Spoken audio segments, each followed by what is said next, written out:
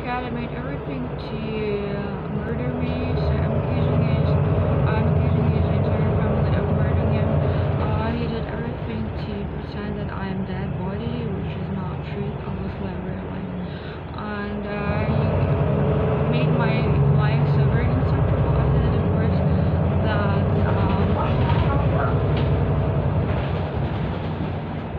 it is the same like murdering me. So I'd like to accuse Scarlett big flamingoma fall of murder because they're trying to uh, murder me because uh, my women rights have been destroyed, Their rights have families and lives after divorce. It means that uh, I'm not able to work in my profession because Marcus Gale gave a lot of money to every music school in Germany and to every theater in uh, Germany and Finland to not uh, produce anything for me. So Marcus Gale